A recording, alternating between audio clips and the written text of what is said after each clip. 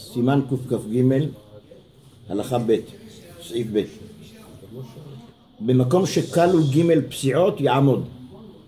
נגמרו ג' פסיעות, אדם צריך לעמוד אחרי תפילת העמידה ולא להסתובב ולא לעשות שום דבר, לעומד ולא יחזור למקומו, לחזור עם שלוש פסיעות נוספות עד שיגיע שליח ציבור לקדושה.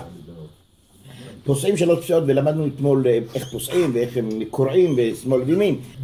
ואז כשהוא מסיים את הפסיעות ממתין שליח ציבור מתחיל תפילת העמידה ואז הוא חוזר עד שיגיע לקדושה, כשהוא מגיע לקדושה אז, אז הוא חוזר שלוש פסיעות קדימה.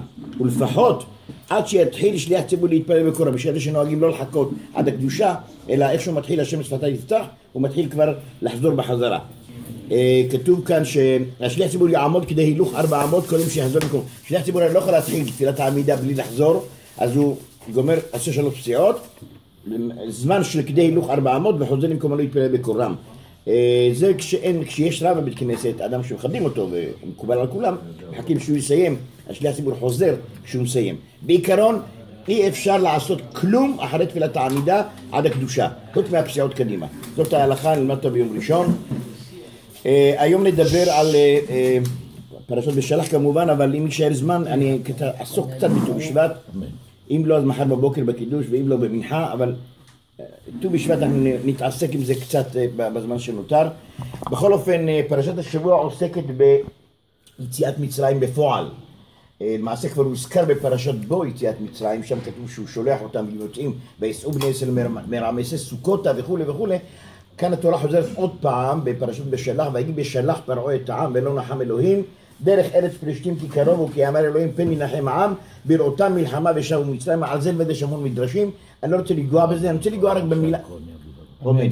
רק לגוע במילה בשלח, מה זה לשלח, על זה אני אעסוק כמעט כל השיעור ונראה מה זה. זה, זה, זה לא סתם מילה, זו מילה שממנה הכל נכנס ויוצא. תכף נראה מה יש שם, שם דברים חבויים נסתרים, דברים יפים מאוד, פשוטים מאוד, אבל דברי חז"ל. אז ככה, בפרשה הקודמת, פרשת בו כתוב בפסוק י' ויחזק לפני מכת בכורות. אגב, לפני מכת בכורות יש שני דברים חשובים מאוד. קידוש החודש דיברנו על זה, מה הוא עושה פה, דיברנו מה הוא עושה שם, תגמור את המכת בכורות, תתחיל, מצווה ראשונה, מה הבעיה? אבל לא, זה מופיע לפני ודיברנו על זה, מופיע עוד משהו, שזה לא הזמן לדבר עליו, לפני פסח נדבר עליו, זה הבן הרשע מוזכר שם, כי ישאלך בנך מחר, כי יאמרו עליכם בניכם, סליחה, בניכם זה רשע. למה הוא שם? למה הוא קודם לחכם, לתם, לשאין יודע לשאול? הרשע הוא הראשון, אז גם על זה צריך לדבר, הוא מופיע לפני מכת בכורות ויש סיבה למה. אז אמרנו, כשמשהו שתול לא במקום, תשאל שאלה. כשאתה רואה פרשה שהיא לא צריכה להיות שם, היא נמצאת שם, זה סיבה לשאול שאלה, כי מאחורי זה עומד חזון גדול ביותר. אז זה דרך אגב. עכשיו, לפני מכת בכורות, כתוב ויחזק השם את לב פרעה ולא אהבה לשלחם. נו, הבנתי את זה. כתבת את זה כבר עשר פעמים, תשע, שמונה פעמים, במכות הקודמות. אבל יש כאן מילה שהיא לא הייתה עד עכשיו, ויחזק השם את לב פרעה ולא אהבה לשלחם. אהבה זו מילה בעברית גדולה מאוד. אהבה זה לא סתם להתנגד, זה התנגדות עצומה שאין דומה לה. כן? לא אהבה לשלחם, זה לא רצה בצורה הכי חריפה שיכולה להיות. שמעתי אותך משה רבנו שמונה מכות, תשע מכות, הבנתי מה אתה רוצה, אני עכשיו הכי מתעקש עוד לא יצאו ממצרים. אני לא בודק עכשיו למה, כי זה לא שיעור, אבל בעיקרון, לא אהבה לשלחם, זה המצב הכי קשה שהיה מצד פרעה. כן? זה לא רק לא רצה, אלא זה הרבה, הרבה יותר גדול, זה הכבדה שאין דומה לה. זה שיא ההתנגדות. אחרי מכת חושך ולפני מכת בכורות, אומר פרעה למשה, ויאמר לו פרעה לך מעליי. הוא למה לא זה אף פעם? לך מעליי, ישמר לך, תיזהר. אל תוסף ראות פניי, כי ביום ראותך פניי מות תמות. הוא אומר עליו במוות, ברצח. תשתדל עליי, אל תגיע אליי, אם אתה מגיע זה הסוף שלך. אומר משה, אתה צודק. ויאמר משה, כן דיברת. אתה צודק. לא אוסיף עוד ראות פניך. כן, זה שני דברים. זה קודם כל, אמרת נכון, יפה דיברת. והדברים שלך מכוונים למה שבורא העולם רוצה לעשות. מכוון. יפה ונכון, זה יפה ומכוון. אמרת גם דבר נכון, גם דבר שהוא מכוון. אנחנו רואים בשירת, בשירת הים, מכון לשבטך פעלת השם. מכון לשבטך בית המקדש מכוון כנגד בית המקדש שלמעלה. זה נקרא מכון. מכון זה משהו מכוון. נכון, כן, זה משהו מכוון. אז אומר לו משה, נכון, דיברת נכון, אני יותר לא רואה אותך. אתה תחפש אותי. אני אקבע את המקום, את הזמן שאנחנו ניפגש. זה בסדר, אתה צודק.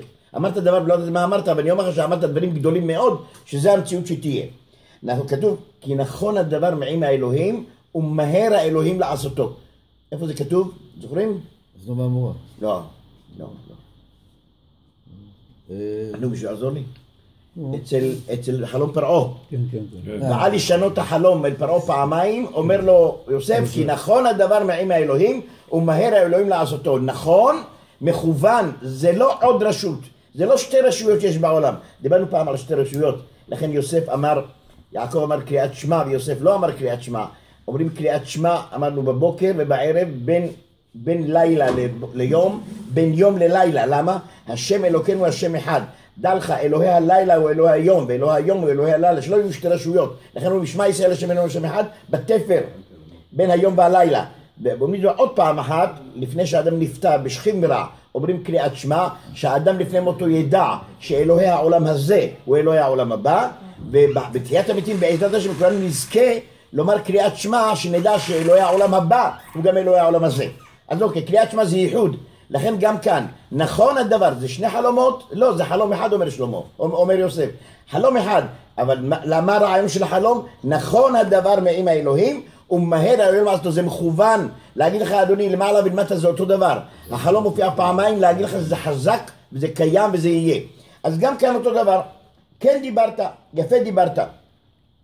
בשגירת, אה, כן. עכשיו הקדוש ברוך הוא אומר למשה, ויאמר השם למשה עוד נגע אחד אביא על פרעה ועל מצרים, אחרי כן, שימו לב, ביטוי מדהים, ישלח אתכם לזה כשלחו כלה גרש יגרש. סליחה, הבנתי, לשלח, למה עוד פעם גרש?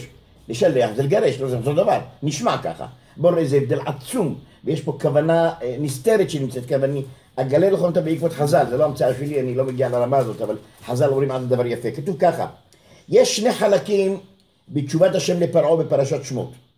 ככה, כתוב ככה בפרשת שמות, ומאז באתי אל פרעה לא בשמך, הרע לעם הזה, והצל לא הצלת את עמך, זו הטענה של משה. ואז השם אמר לו, ביי על דעבדי ולא משתחים. כתוב ככה, ויאמר השם אל משה, הבנתי אותך, אתה תראה, אתה תראה עכשיו, אשר אעשה לפרעה, כי ביד חזקה ישלחם מארצו, וביד חזקה יגרשם מארצו. עוד פעם, הביטוי לשלח ולגרש מופיע פה אחד אחרי השני, זה אותו דבר. זה בכלל לא אותו דבר. זה לא היה כתוב פעמיים. אין פה כפל, יש פה שתי משמעויות של שילוח וגירוש, תכף נראה מה זה. לשלח זה ההפך מלשלוח. כשאני שולח מישהו, יש לי כוונה שהוא יחזור אליי עם תשובה. אני שולח מישהו לקנות לי משהו, או למסור מסר, הוא חוזר אליי ואומר, הייתי, אמרתי, עשיתי, ביצעתי. זה לשליחות, שליחות זה שליח שחוזר. אני שולח אדם לגרש, אדם שולח אדם לגרש אישה, השליח מגרש וחוזר ואומר, היא מגורשת, נתתי לה את הגט, זה לשלוח. אז משתמשים לש- במושג ישלח, לא... מה? וישלח. אני אגיע לזה. לא וישלח. וישלח זה שליח, אבל לשלח זה משהו אחר. נכון. אז מה זה נכון? זה ברור? מה זה לשלח? לא, אתה אמרת... לא, כאילו- בכלל, אבל זה מה שאני אומר, זה לא זה. הבנתי ממך שישלח זה גם כן הכוונה שיחזור. לא, לא, לא, שליח אמרתי, אני שולח שליח כדי שילך ויבצע שליחות ויחזור. לשלח זה משהו אחר. לשלח זה לשלוח, עוד פעם, זה לשלוח. זה להגיד למישהו, לך מכאן, אל תחזור. one way ticket. תכף נראה, יכול להיות, זה ביידיש. לשלוח שליח זה ידי ארוכה, על פי ההלכה. על פי ההלכה. לשלוח זה יד ארוכה של האדם. אני שולח שליח, זה כאילו אני שולח את היד שלי למרחק של קילומטר וקונה מהמכולת וחוזר. זה, זה לשלוח. לשלח, כאשר אני משלח מישהו, המגמה שלי היא שלא יחזור אליי. איפה רואים את זה? אסיר לעזאזל. מה? נכון, כן. לשלח לכם, כן. לשלח לי למטרה, שלח את החץ, החץ לא חוזר אליי. דוגמה ראשונה, בגירושין כתוב שאחר, אצל ציפורה, אחר שילוחיה. מה זה שילוחיה? אחרי שהוא שלח אותה, היא לא תחזור אליו, היא גור- היא גורשת כבר. אז זה שילוחיה, זה בעין ציפורה. כתוב, לא יוכל בעלה הראשון אשר שילחה, שילחה בלשון לשלח, לשוב לקחתה. דוגמה. דוגמה שנייה, במכת העלום כתוב ביטוי מדהים, שהוא לא קיים בשום מקום, בשום שפה גם, בנושא של לשלוח, שימו לב. כתוב, כי אם, אם אינך משלח את עמי, אם אתה לא משלח את עמי, שלח שלא יחזור בחזרה, אמרנו משלח. הנה משליח בך ובעבדיך את הערוב. משליח, מה זה משליח? משליח זה שילוב של לשלוח ולשלח. למה? אני, חיות משלחים. כתוב, כתוב, אה, וישלח השם בעם את הנחשים השרפים. לשלח זה לתת להם הוראה עד שאתם מחליטים לגמור, כן? זה לשלח. כתוב גם, תכף נראה אצל- אצל, נוח. אז ככה, אני נותן שולח מכה אני שולח מכה, מלשון לשלוח, כדי שתחזור אליו ותגיד טעיתי. אז המכה היא לשלוח כדי שתחזור ותגיד, אני שולח את עם ישראל, אני משחרר אותם. אבל אני משלח, איך אני עושה את המכה? עם אלה שמשלחים אותם הם לא חוזרים. אז זה משליח, אני שולח מכה כדי שתחזור ותגיד טעיתי, אני משלח בך סוג של בעלי חיים שהם נשלחים ולא חוזרים. אז זה משליח, זה צירוף של שני הדברים, אוקיי? עוד דוגמה, נוח, כתוב שם, וישלח את העורב, ויצא יצוא ושום, עד יבושת המים מעל הארץ, וישלח את העורב, הוא שואל אותו בשביל שלא יחזור. אם הוא חוזר זה אומר שעדיין יש מים, אבל מה המטרה? וישלח, אל תחזור אין מים. וישלח את היונה, אותו דבר, לא תקלו המים על פניהם, זה וישלח. כן? דוגמה נוספת, על יצחק כתוב, כשהוא רוצה שיעקב יחזור בחזרה, הוא אומר לו, וישלח יצחק את יעקב, וילך פדנה ארם. הוא שולח אותו כדי לחזור. לך, חמת אחיך, תירגע ואתה תחוזר אליי. אבל ללבן יעקב אומר, ויאמר לבן, יעקב ללבן, נו, שלחני ואלך אל מקומי ארצי. שלח אותי, אני לא חוזר אליך. אני הולך לבלי שוב. אז אותו יעקב פעם יש לשלוח אותו כדי לחזור, פעם יש לשלח ואל תחזור. זה, זה ההבדל בין לשלח לבין לשלוח. עוד לא הגענו לגרש, תכף נגיע לגרש. כתוב ככה. אז מה יעקב אומר? תנא את נשיי ואת ילדיי, אשר עבדתי אותך בהן ואליך, ונסגור את מערכת היחסים בינינו. ואני, זה לשלח, יפה. רש"י על הפסוק כי ביד חזקה ישלחם בפרשת שמות בסוף וביד חזקה יגרשם. יש פה שילוח ויש פה גירוש כי ביד חזקה פרעה ישלח את העם למרות שהם לא רוצים. הם לא רוצים, רוצים להישאר במצרים, זה טוב להם. עם ישראל תמיד אהב את הגויים, תמיד אהב להיות בנזק ובצער הכי גדול, כי הם ראו שם את הקניונים, את החנויות, אבל אתם סובלים, יש, יש כל מיני דברים. פרעה ישלח אתכם ביד חזקה, אתם לא רוצים לעזוב, אתם רוצים להישאר, זה אני יודע, אבל ביד חזקה הוא ישלח אתכם, אתם לא חוזרים לפה. אבל מה זה לגרשם? ביד חזקה יגרשם מארצו. מה זה גרשם? עם ישראל לא רוצה לצאת, אז מה צריך לעשות? לגרש אותם. אז גירוש זה מי שלא רוצה, לשלח זה מי שרוצה להישאר. מי שרוצה להישאר משלחים אותו, אבל גם מגרשים אותו. אז זה שתי פעולות, לשלח ולגרש. אז השם אומר שני דברים, ביד חזקה ישלחם מארצו, כן? יד, יד, ידו החזקה של פרעה תדאג שאתם לא תהיו כאן, אבל ביד חזקה של הקדוש ברוך הוא אני אדאג שהוא ידאג פרעה שאתם תצאו ביד חזקה ואתם תגורשו על, על כוחכם. אז זה לגרש ולשלח, זה מושגים מדהימים.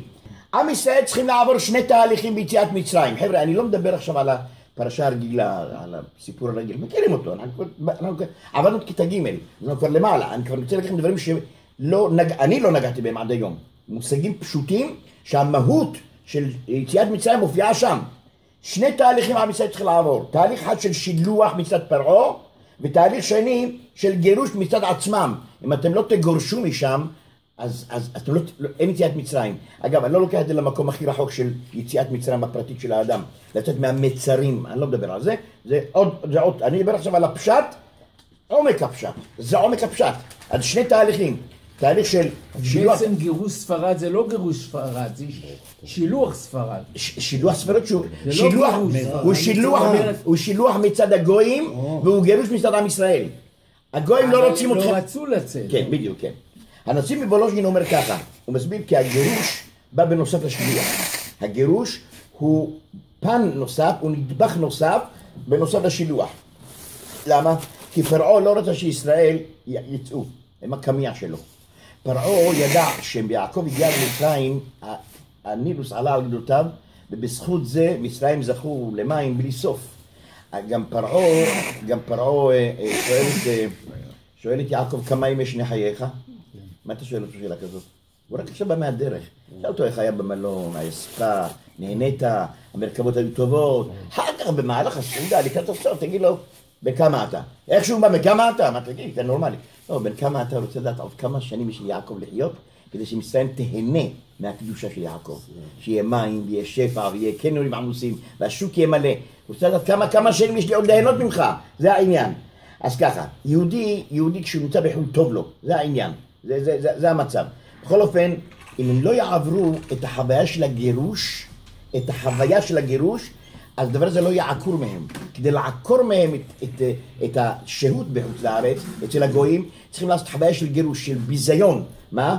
עם ישראל מצד אחד יוצא כמנצח, ברכוש רב יצאו ממצרים, דן אנוכי אחרי יצאו ברכוש גדול, יוצאים כמנצחים, מצד שני הם יוצאים כמגורשים ומושפלים, כן? אז זה שני דברים. תראה, אתם תצאו מרכוש רב, אבל עם ראש למטה. כי אתם מגורשים, לא הלכתם בגלל שרציתם לצאת, בגלל שזרקו אתכם מפה. אומרים שמדינת ישראל לא נבנתה רק בגלל שגורשנו על ידי הגויים. אם לא היינו מגורשים, היינו, שם, לא הייתה ארץ ישראל היום. אתם בניתם דבר טוב, איך אומרים ברכוש שלב, בניתם מדינה מדהימה, זה לא בזכותכם, זה בזכות הגויים. הם זרקו אתכם, לא זרקו אתכם, לא הייתם פה בכלל. כן? אז זה מדהים, זה דבר מדהים. אה, מוטה גור אומר במלחמת ששת הימים, כשכבשו את ירושלים ואת הכותל, הוא אומר, הר הבית בידינו. מוסיף שם הרב גורן בסוגריים, עדיין הוא לא בידינו. בידינו עדיין לא. זה בידינו. מתי זה יהיה בידינו? כשנבין שאנחנו פה בגלל שאנחנו רוצים להיות פה. כל עוד אנחנו פה כי לא רצינו להיות פה, כי זרקו אותנו, התפיסה צריכה להשתנות. אנחנו פה כי אנחנו רוצים להיות פה. כל עוד לא יהיה רצון להיות פה ויש ירידה מהארץ בלי סוף במשך 70 שנה שהמדינה הזאת קיימת, ירידה אינסופית, קיטורים אינסופיים על מה שיש בארץ, אין רצון להיות פה בגלל הרצון העצמי. אנחנו נמצאים פה כי אין ברירה. זה- אין אין לי ארץ אחרת, זה, מצב של פשרה. מה זה אין לי ארץ אחרת? אתה פה כי זאת הארץ שלי, לא אין לי ארץ אחרת. אפילו אם הייתה ארץ אחרת, היית עוזב? כן, לפי זה הייתי עוזב. אין לי ארץ אחרת, אם היה לי ארץ אחרת הייתי הולך. לא, אתה פה גם אין לי ארץ אחרת. אתה פה כי זה שלך. זה חוויית הגירוש. כדי, אם אתה לא תבין שאתה צריך להיות מגורש ומושפל, אתה לא תבין למה אתה פה. זה הרעיון של יציאת מצרים. יציאת מצרים בא ללמד אותנו, תבינו, אתם לא תגיעו אל המנוחה ואל הנחה בארץ ישראל אם לא יהיה שינוי פנימי בתפיסה, בהבנה, מה זה לא להיות שם ולהיות פה. זה דבר גדול.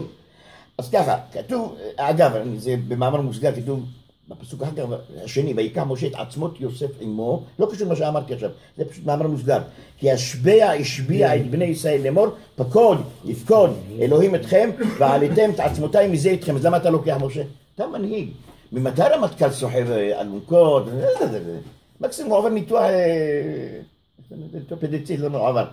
הרמטכ"ל לא מתעסק בדברים האלה, יש אה, טורים שיעשו את זה. ויקח משה את עצמות יוסף. מה פתאום? והסברנו פעם אחת, אני מזכיר את זה כי זה מוזכר בפרשה עכשיו. משה לוקח את עצמות יוסף. משה כמנהיג לא יהיה מנהיג וייתן תורה לעם ישראל, ויכניס אותם לארץ.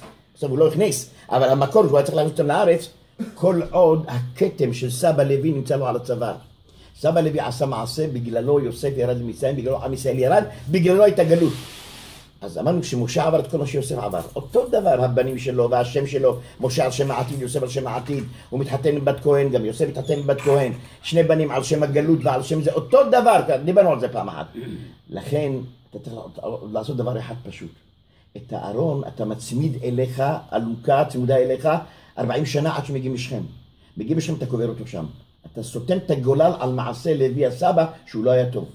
אז, אז ויקח את עצמות יוסף עמו, הוא לוקח, אף אחד לא, משה בעצמו, משה הסתובב כל הלילה לחפש את ארונו של יוסף, הוא לא מוצא אותו, כי האחריות של מנהיג עם ישראל, שהוא בא משבט לוי, לנקות את ה, מה שהיה בהיסטוריה של סבא לוי. אז זה מה שהוא עשה לכם, זה כתוב כאן. דעו לכם, ויהי בשלה פרעה את העם, משה רבנו לוקח את עצמות יוסף, אל תשכח. בלי זה, בלי זה, בלי להגיע עם, עם הארון לשכם ולקבור אותו שם, אין החזרת השלום במקום שהוא נעלם. שם האחים זרקו את יוסף, שם נזרק השלום בין האחים. הלך לאיבוד. אם לא נחזיר את השלום לשכם, לא יהיה חזרה לירושלים בינה בית המקדש ומשיח. בלי זה אין זה. לכן מרשה לעצמו להגיד להם, אם אתם לא תעלו את עצמותיי, מה מי אתה שאתה תגיד לנו? יש רק מנשה ואפרים, מה אתה רוצה מאיתנו? ראובן, הצאצאים שלו לוקחים את הארון שלו, אין לוקחים את הארון שלו, ואתה, יש לך בנים. לא, זה לא אני. אל תיקחו. אם לא תיקחו, לא יהיה גאולה, לא יהיה משיח, לא יהיה בית מקדש. תיקחו כי זה רעיון שנמצא בעם ישראל. לכן יוסף נקרא אב. כמו שאימא שלנו נקראת אחרי אימנו, הוא נקרא יוסף אבינו. כי השלום בא מיוסף, כי השלום נלקח מיוסף. זה הרעיון, זה במאמר מוסגר, כדי שנבין מה זה ויקח משה, מה פתאום זה תקוע כאן. ביציאה מצרים צריך לזכור, ויקח משה את עצמות יוסף עמו, זה היסוד והבסיס להקמת מדינה בארץ ישראל על פי תורת ישראל. זה לא פשוט. הלאה, בואו נמשיך. עכשיו, כל פרשת בשלח מדברת על דבר אחד בלבד, השתדלות ואמונה. עכשיו ככה, אמרנו לשלח, לגרש, הכל טוב ויפה, אבל הקדוש אומר לעם ישראל, תראו, עד ראש חודש ניסן, שאמרתי לכם, החודש זה לכם ראש חודשים, המצווה הראשונה, הייתם כמו תינוקות. עם, אבל בלי הוראות, בלי, כמו שתינוק עושה דברים, וכשהוא עושה גם שגיאות, סולחים לו, פוצ'י מוצ'י, הכל יהיה בסדר. עם ישראל לעשות מה שהוא רוצה כי הוא לא עם. אם הוא לא עם, אז הוא גם עובד עבודה זרה, והוא גם אה, נמצא עם הגויים, ואין מה לעשות, הם לא עם. מראש חודש ניסן עם ישראל הוא עם. אם אתה עם, יש דרישות כלפיך. הדרישה הבסיסית מיהודי, תעשה משהו כדי שבורא עולם יעזור לך. תעשה השתדלות. קחו לכם אבות צא אל הבית. כשתעשו את זה, אני אפסח על הבית. תעשו משהו.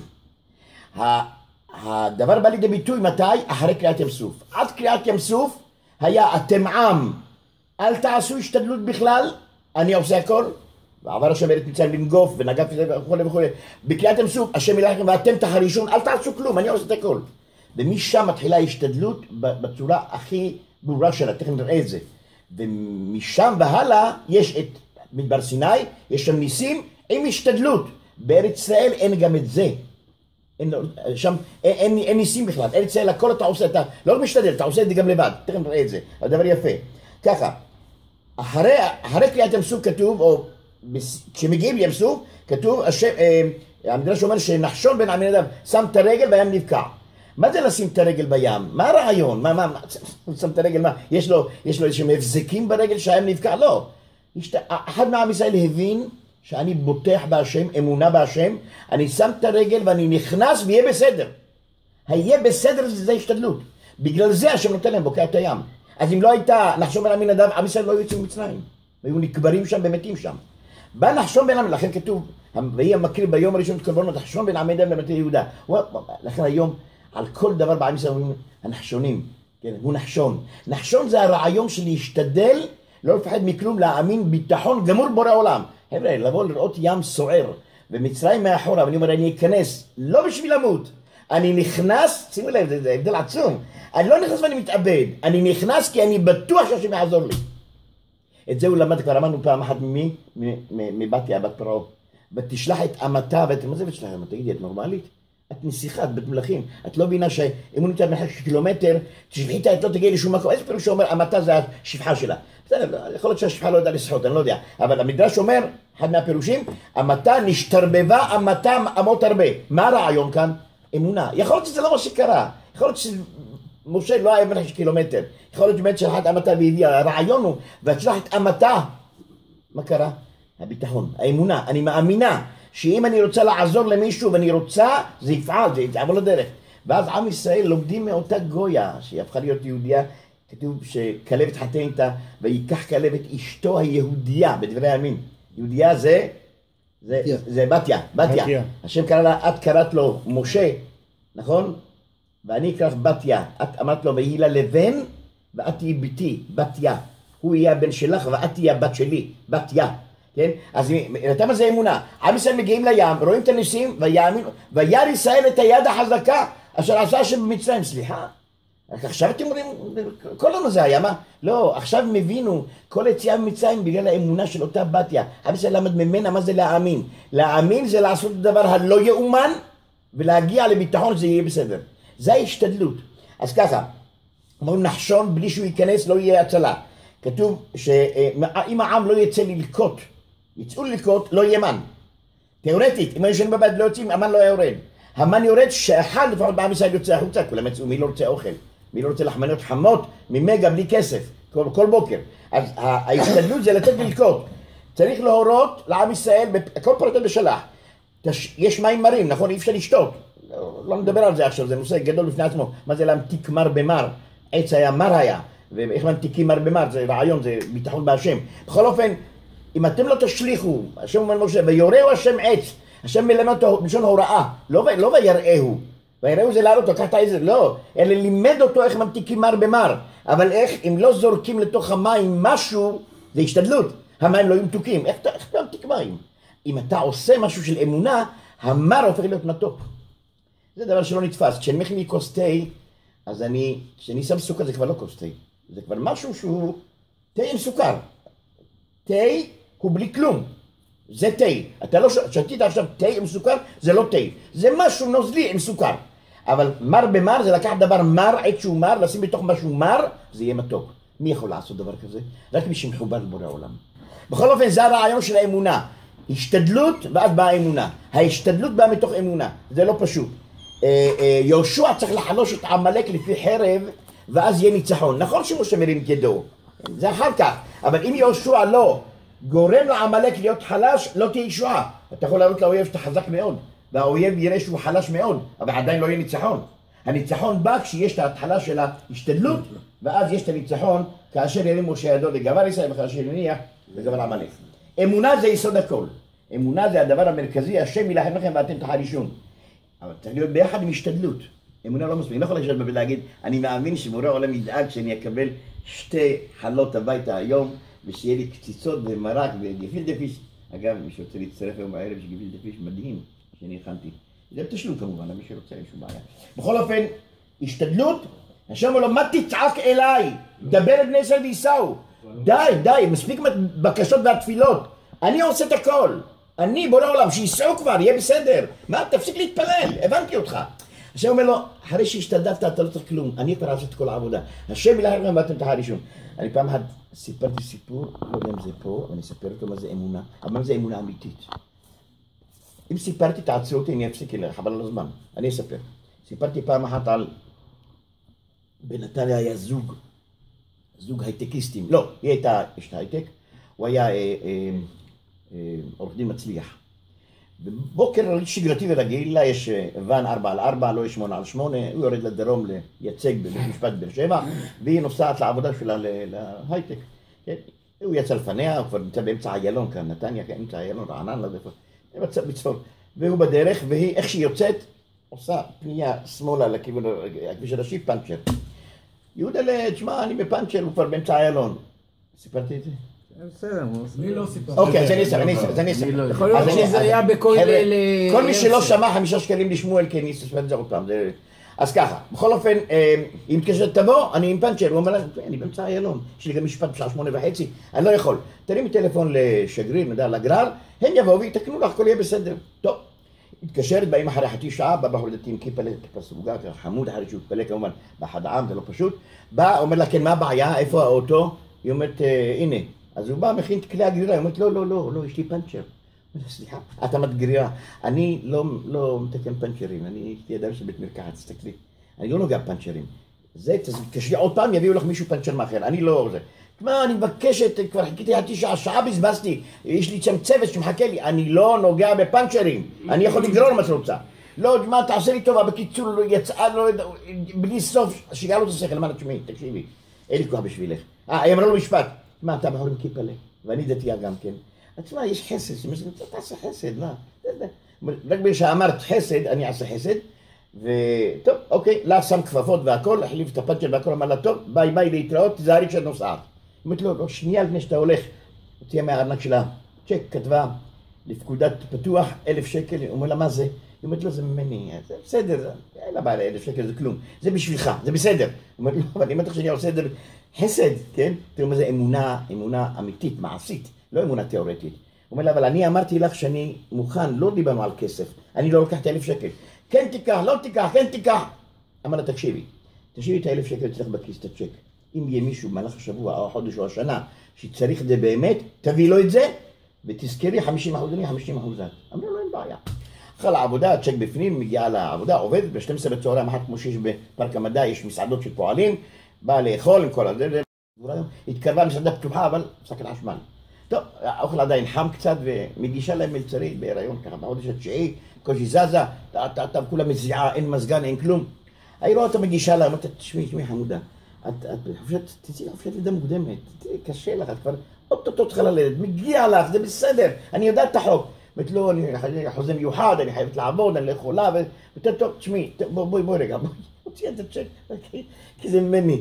מה זה, אלף שקל? זה טיפ, טיפ. היא אומרת, "מה, טיפ? את אוכלת ב-20 שקל, מביאה לי טיפ אלף שקל, מה זה? היא אומרת, ממני, מה אכפת תקחי, לא תקחי, כן תקחי, לקחה את הצ'ק. טוב, לקחה את הצ'ק, הלכה הביתה, בערב בעלה מגיע, מספר לו את הסיפור. הוא אומר לה, תראי לי את הצ'ק. הוא אומר את הצ'ק. הוא אומר לה, זה היה אצלי כבר בערב בשבת בבוקר. כן? בסדר, מוישה? בעלה זה הפאנצ'ר מאכר של הבוקר. עכשיו הצ'ק הגיע אליו בצורה אמיתית. זה נקרא אמונה. אמונה זה לעשות הכל באמת. לא רק לדבר על אמונה, זה אמונה מעשית. הוא האמין שהצ'ק הזה עכשיו לא מגיע לי, אבל אם זה שלי, זה יגיע אליי. אז זה אמונה אמיתית, ואז הצ'ק מגיע כמו שצריך. זה השתדלות. אם אתה עושה השתדלות, בורא עולם דואג לך שהאמונה שלך תעבור לפסים מעשיים ולא תיאורטיים, זה העניין. אה, חבר'ה, סיפור חסידי על רעיון ההשתדלות. תראו, תראו, זה סיפור מרתק. אני חושב ש... אין, כשאני קראתי את זה, אני התרגשתי כמעט עד כדי בכי. שמעת מה האדמו"ר בישראל מ... מרוז'ין. מרוז'ין, יפה. מרבה. הוא היה תלמיד של האדמו"ר מססוב. אתה איתי? והאדמו"ר מססוב, קראתי את זה, לא שאני יודע. היה תלמיד של המגיד ממזריץ'. והמגיד ממזריץ' היה תלמיד של...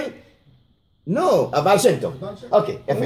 עכשיו, כשהייתה צרה, נו, נו, נו, הייתה צרה לעם ישראל, היה עומד רבי ישראל מרוז'ין, ואומר לקדוש ברוך הוא, תשמע בורא עולם, אני לא יודע להתפלל, אני לא יודע לבקש, והיה בוכה. אני רוצה שהצרה הזאת תעבור. אבל בשביל שהיא תעבור, אני אספר לך סיפור. יש עניין, בורא עולם אוהב סיפורים. אספר לך סיפור, והסיפור הזה יעשה את העבודה, אני מקווה, וצלח עם ישראל. מה היה הסיפור? אומר ככה, כשהייתה צרה לעם ישראל בתקופת הבעל שם טוב, הבעל שם טוב היה לוקח כמה דברים, הולך ליער, מוצא שביל, מגיע לעת מסוים, מדליק נר ואומר ניגון. היה לוקח איתו מעיל פרווה, אני קורא שאני לא אתבלבל, לוקח חליל מקודש של הבעל שם טוב, הולך ליער בשביל מסוים, מגיע לעץ מסוים, כן, מדליק נר ומנגן בחליל ניגון, ואחרי שהמנגן, הצלה הייתה עוברת. זה הבעל שם טוב. עברו כמאה שנה, בא תלמידו רבי האדמו"ר- המגיד מזריץ', וגם הוא כשהייתה צרה לעם ישראל, הוא היה אומר ברור, תשמע, אני אעשה מה שרבי היה עושה.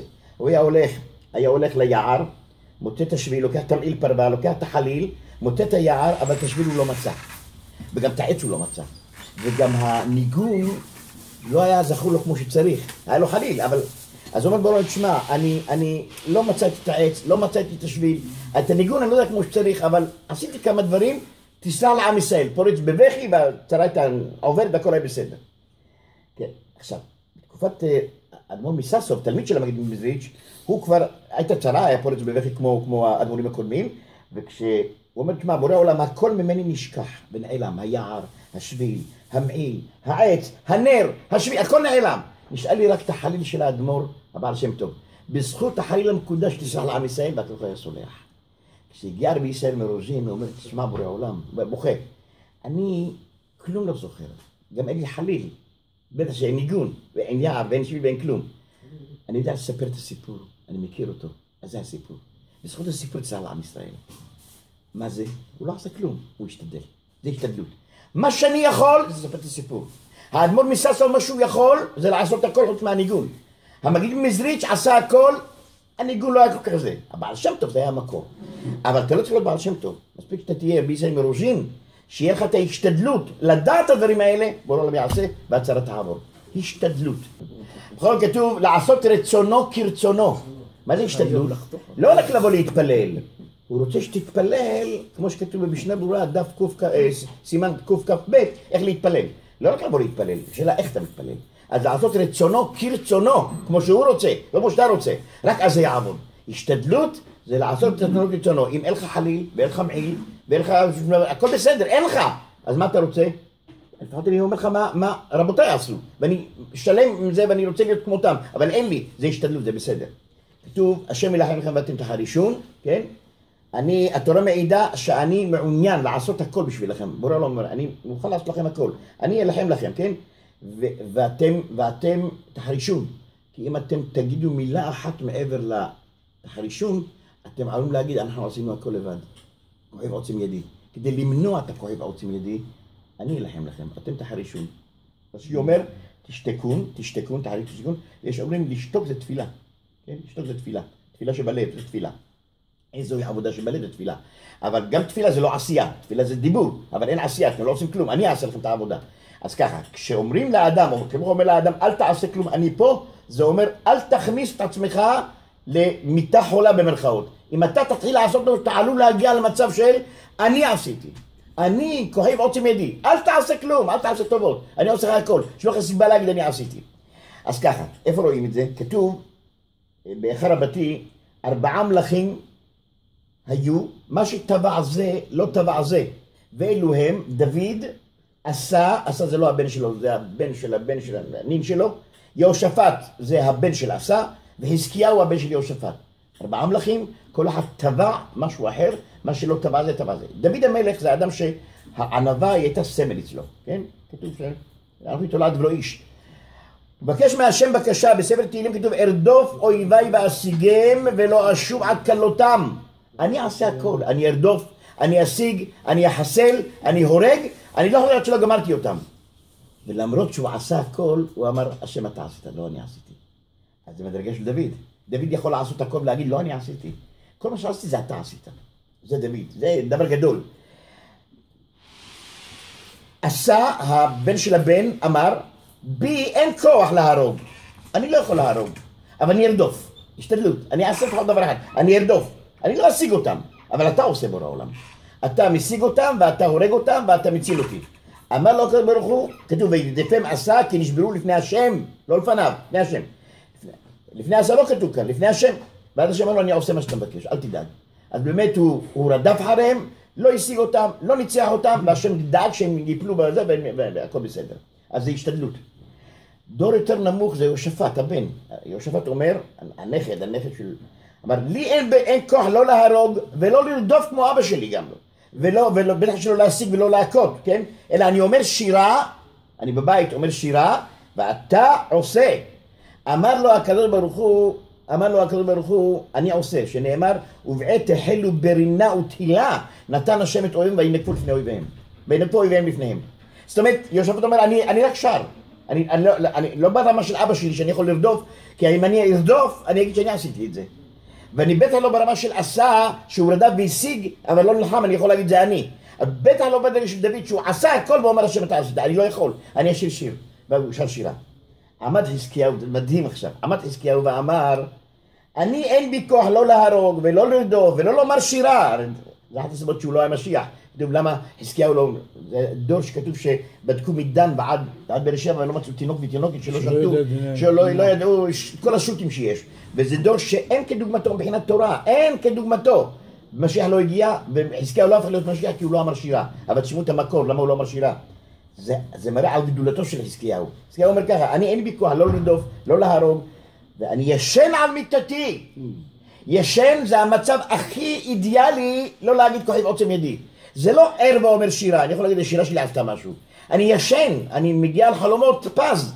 ובשינה שלי, בחלום שלי, אתה עושה נס. אתה מציל אותי. זה מה שכתוב.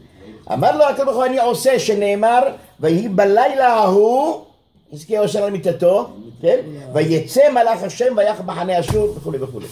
זה, זה הצד השני של המטבע. הצד הראשון שלו זה דוד המלך. להיות במדרגת דוד המלך זה לעשות הכל ולהגיד זה לא אני. להיות במדרגת חזקיהו, יכול להיות שזה גבוה יותר. אני רק בחלום יכול לא לפעול ולהגיד אני עשיתי. אני בחלום מושבת, אבל לא מושבת. בחלום אני פועל, אני עושה המון דברים. חוני המעגל ישן 70 שנה, וכל הגלות עברה עליו בחלום. היינו כחולמים. היינו כחולמים. אומר חוני המעגל, כך תראה דוד המלך להגיד, יש מצב שאני יכול להיות בחלום, ואני עושה הכל דרך החלום. יש סיפור שאני לא זוכר אותו כמו שצריך, לכן גם לא אומר אותו, ששני אדמו"רים, אדמו"ר אחד ישן ואדמו"ר אחד למד, לא זוכר מי הם, לא זוכר בדיוק את הסיפור המדויק, אבל האדמו"ר שלמד אומר, די תתעורר כבר, אתה בחלום הופך עולמות, אני לא יכול, אתה משנה את כל מעשה בראשית, תתעורר כבר. אז בחלום זה, חזקיהו יכול להיות שהוא היה גדול מאוד, יותר מדוד, אבל לא, מבחינת האישיות, דוד היה גדול, דוד עשה הכל ואמר לא עשיתי כלום. חזקיהו אומר, אני יכול בצורה אחרת לעשות הכל ולא לעשות כלום, אני יכול לישון ולחלום, לעשות הכל בצורה חזון, בצורה של ויחלום חלום ולעשות הכל. זה, זה, זה, זה העניין. אז ככה, אה, צריכים להבין שאם אתה, אם אתה דוד המלך זה המדרגה הגבוהה ביותר. אנחנו לא מגיעים לדבר הזה. הוא מתפלל ואומר, ארדוף אויבי ואשיגם ולא אשוע עד כלותם. ואני עדיין לא תופס שום אגו, אין לי, אין לי נפח, אני לא קיים בכלל. אני תולעת ולא איש, כן? בכל אופן, אה, להסביר את זה יותר טוב, ובזה אני אסיים, כתוב יגעת ומצאת האמן, יגעת ולא מצאת אל תאמן. סליחה, אני רוצה להבין את זה. זה פסוק, מדרש חז"ל. אז כתוב ככה, יגעת ומצאת האמן. אם יגעתי, עבדתי כל החודש במפעל, קוקה קולה, עבדתי חודש. יגעת, נכון? יגעתי, הוא יגע. ומצאת. לא מצאתי, זה שלי. מה זאת אומרת מצאתי? מציאה דבר שהוא לא שלי. אם יגעתי, למה מצאתי? אם יגעתי זה שלי, יגעתי וקיבלתי את מה שמגיע לי. אומר בורא עולם יגעת ומצאת האמן, אם אתה יגע ואתה רואה את זה כמציאה שלא מגיעה לך, זה אמונה. כי לא מבטיח לי אף אחד אם אני יגע, אני, אם אני יגע אני אגיע לתוצאות, אף אחד לא מבטיח לי. אם יגעתי ויש תוצאות, זה לא בגללי, זה בגלל שאני מאמין, זה הבורא עולם דאג שאני אמצא מה שלא אני עשיתי. גם מה שעשיתי זה לא מה שאני עשיתי. מה שעשיתי זה בורא עולם עשה את זה. יגעת ולא מצאת, אל תאמין. אתה יודע איפה אין אמונה? כשאתה יגע, ואתה אומר, זה לא מציאה, זה שלי. יגעת ולא מצאת. אני יגעתי ואני אומר לו, זה לא מציאה, לא מצאת, זה לא מציאה, מה פתאום? אני עבדתי על זה. זה אל תאמן. לא אל תאמן לזה, זאת לא אמונה. איך אמרנו פעם אחת, מי שבחורף בא בלי מטריה, יש לו חוסר באמונה. כי אם אתה אומר שיברח מוריד הגשם ואתה בא בלי מטריה, זאת אומרת, אתה אומר, לא ירד גשם היום. אבל יש שמש, החזאי אמר, עם כל הכבוד, תקח מטריה. אגב, מטריה שלי קבוע ב- בעגלה שלי הקטנה. כן. אז זה העניין, יגעת ומצאת האמן. אתה יודע מה זה אמונה? אם אתה יגע, ומה שאתה מקבל זה ברמה של אמונה, ברמה של מציאה. אבל אם אתה יגיע וזה ברמה של, של, של לא מציאה, הגעת ולא מצאת, אל תאמין, זאת לא אמונה. אמונה זה היכולת להבין שהכל מאיתו יתברך. תבינו, כתוב, הרמב"ם, והיה אמונת עתיך חוסן ישועות. אמונת הזמנים, אמונת עתיך, אמונה של כל הזמן, בוקר, צהריים וערב. אגב, אה, תראי שנייה סידור. לא. תראי זה- אה, אנחנו אומרים, דבר יפה, אנחנו אומרים במודים, זה דבר שאף פעם לא מבינו, כתוב מודים אנחנו לך, שאתה הוא השם אלוקינו, תראו מה זה דבר ש... אני מקווה אחדש לכם משהו. מודים אנחנו לך, פעם אחת אמרתי את זה לבנימין, לא יודע אם הוא זוכר, הלאה, שאתה הוא השם אלוקינו גאוותנו אותנו, צורים צוחן מגן ישענו אתה הוא, לדור ודור, נודה לך ומספר תהילתך, על חיינו המסורים בידיך, ושמותינו הפקודות לך, נשיאך שבכל יום עמנו, ואל לפנות לך ותדע שבכל עת, ערב ובוקר, אמרת בכל עת, מה זה בכל עת? עקב בוקר וצהריים, למה אתה חוזר על זה עוד פעם? אמרת בכל עת, למה ערב ובוקר וצהריים? אמרת בכל עת, זה בכל זמן, כל שנייה וכל רגע, בשביל מה אתה חוזר? הרעיון כזה, אנחנו מודים לך, כן, בכל עת, על הניסים שהם בכל עת. הניסים הם בכל עת, הנפלאות הם בכל עת. מתי מודים לך? ערב, בוקר וצהריים. הבכל עת מתייחס לניסים ולנפלאות שהם בכל רגע. אני נושם עכשיו? הנה, בכל עת אני נושם. עוד נשימה ועוד נשימה. בכל עת אני... זה הניסים שאתה עושה לי. על זה אני מודה לך בוקר, צהריים וערב. זה הבנה, זה, זה, זה אמונה. זה אמונה. אם אתה לא מאמין שזה שעכשיו אתה תקום מהכיסא, אתה תקום ותצליח לקום, כי השם רוצה, זאת אמונה. אם אתה חושב אתה קם כי אתה עשית אה, ספורט ואתה ספורטאי טוב, דווקא זאת לא אמונה, אל תאמן, אל תאמן. כן? יגעת ומצאת, אמן. לא מצאת, אל תאמן. זה הרעיון. אני אסיים, זה הפירוש העמוק של זה, אני חושב שזה פירוש יפה מאוד. בכל אופן כתוב, אני כבר מדלג, ככה, בפרשה, כתוב ויאמן העם, אמונה. האמונה מתחילה שם, ויאמן העם. כתוב ככה, אמונה שנצא ופרעה לא ישיג אותנו. זה אמונה. אמונה שהים ייבקע ונצא בשלום. אמונה שהמן ירד ויהיה מה לאכול. אני, כתוב שהתורה לא ניתנה רק לאוכלי המן, למה? אתה הולך לישון בלילה, בערב, ישן על מיטתך, ויש לך שבעה ילדים בבית, המקרר ריק, כמובן אין מקרר, אין מקרר שם, אין, לך- כלום, הרי אסור, לא תותירו ממנו, אז, אז לא משאירים כלום. אין כלום, אין סנדוויצ'ים, אתה לא יכול באמצע הלילה לעשות טונה עם סנדוויץ', אתה לא יכול, אין כלום. ואתה הולך לישון עם אמונה שמחר בבוקר יהיה לי, יהיה מה לאכול. זה אמונה שהם, זה פשוט, זה לא בערך, זה אמונה נטו. שבעה ילדים לפרנס, אני מאמין שמשמיים זה, וזה 40 שנה זה ככה. זה לא יום ולא יומיים, זה 40 שנה. זה אמונה. לכן כל האמונה מתחילה מפה, בפרשת בשלח. האמונה שהשם ייתן הכל. ההשתדלות זה חלק מהעניין. תעשה משהו, ניצוץ קטן.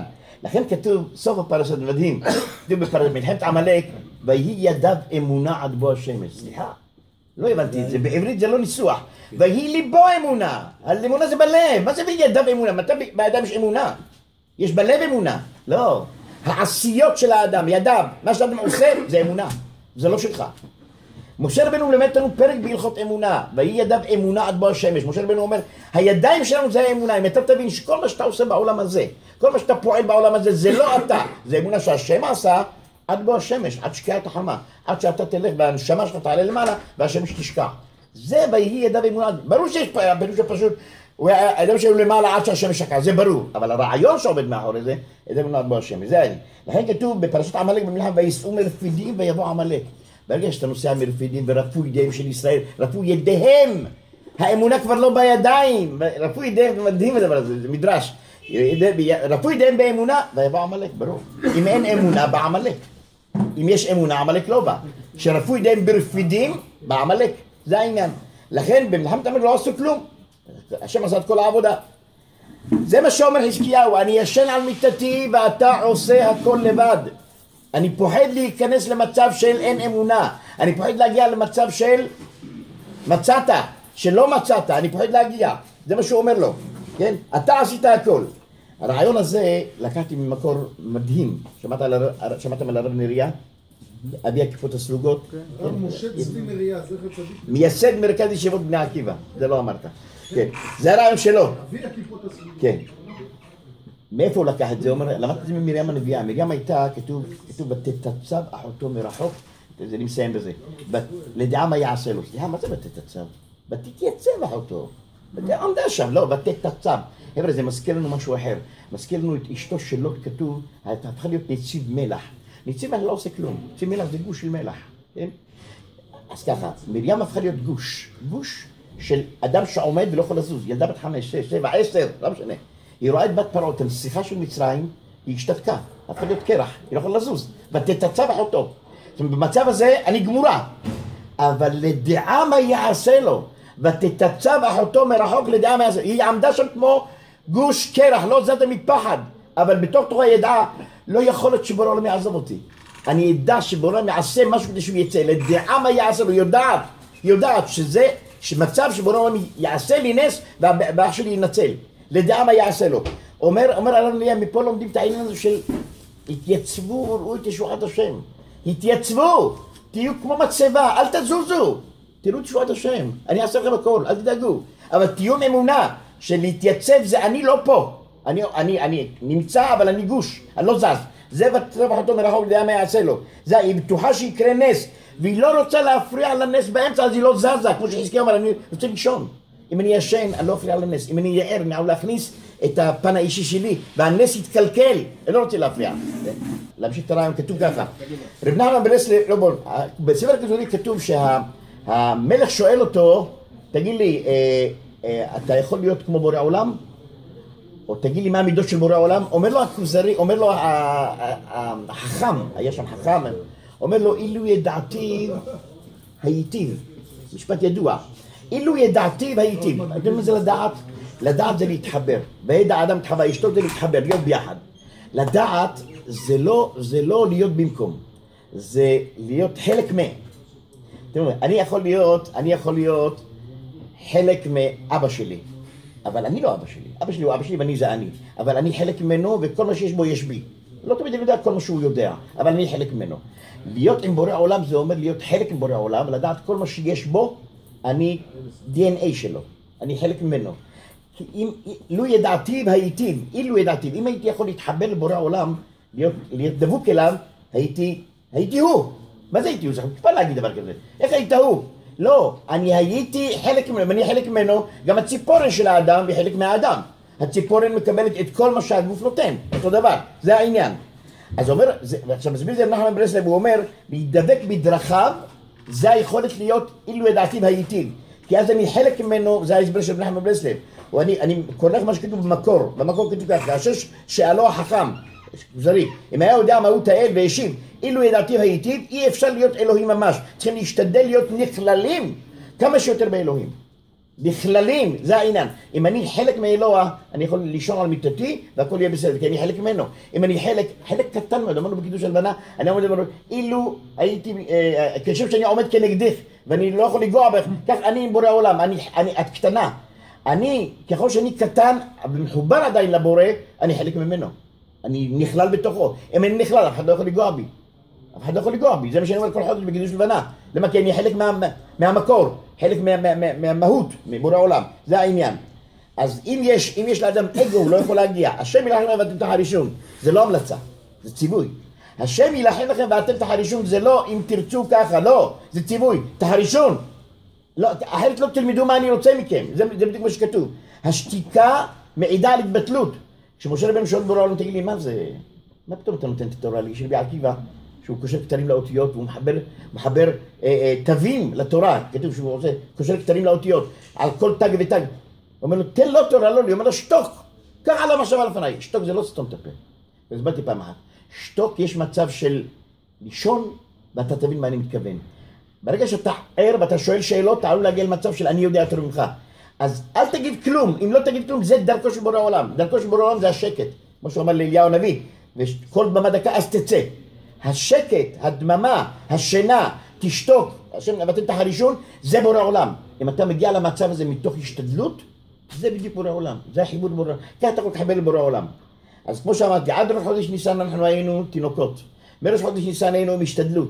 מאחרי פרשת בשלח אנחנו צריכים לעשות השתדלות, ואז השם יעשה את העבודה לבד. אז הנחשים השרפים, והמים בכל המקומות, כל ספר במדבר, זה אחרי ההשתדלות, אבל השם עושה את הכל. ברוכים תהיו, שבת שלום.